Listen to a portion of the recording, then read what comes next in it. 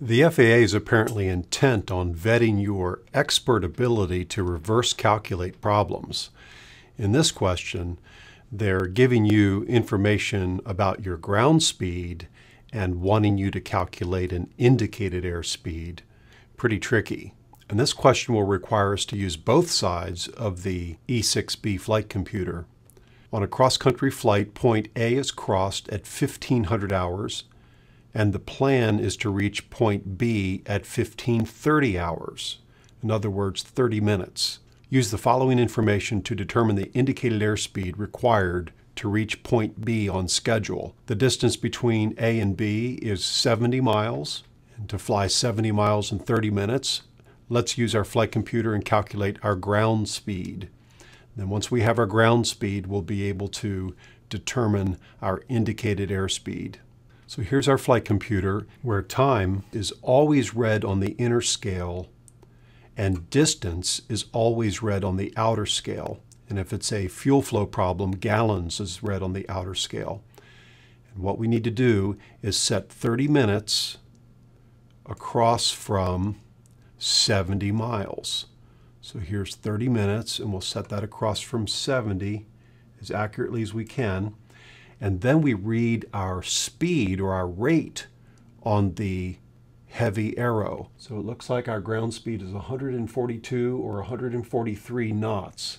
Now, if you're of such brilliance, you were able to do this math in your head, knowing that 70 miles in 30 minutes equates to 140 miles per hour or knots, you can see our flight computer is just a few knots off. That won't affect our coming closest to the correct answer. And at the end of this video, we'll have a look at how to check the accuracy of your computer. The question wants to know our indicated airspeed. Well, to figure out our airspeed relative to ground speed, we'll have to reverse calculate the impact the winds, both in direction and speed, have so first we'll have to mark our wind direction and speed. The winds are from 310 degrees. At 15 knots, you can just move the grommet underneath any one of these lines because you can see they're all equally spaced. And we'll mark our wind vector exactly 15 knots upward from the grommet. And I like to draw an arrow so I can visually see that that's the wind direction. Now the question tells us that we're flying a true course of exactly 270 degrees or straight west. So we see that our winds are a right quartering headwind. We've already determined that our ground speed needs to be 142 and a half knots. So that means that our true airspeed, because we have a headwind, has to be 155 knots. And finally, the question is not asking our true airspeed, it's asking our indicated airspeed. Well, if we're flying at sea level, true airspeed is indicated airspeed. But as you climb out of the atmosphere into lower pressure and air density that may not be standard, your airspeed indicator reads erroneously low. Well, we're all the way up to 8,000 feet at minus 10 degrees, so we need to set minus 10 degrees across from 8,000 feet like so. Now we read our true airspeed outside of our indicated airspeed, and I'm coming up with 140 knots. Well, that's not very close to our answers, but it's closest to 137 knots.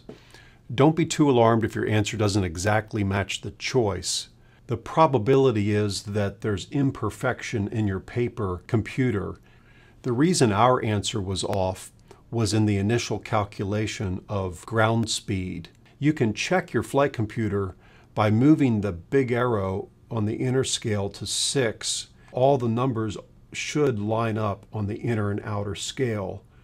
And in fact, our paper flight computer does not line up perfectly. I'll check using another flight computer I have and set the 6 directly across from the arrow and I can see that all of the numbers around the, the perimeter line up just exactly right.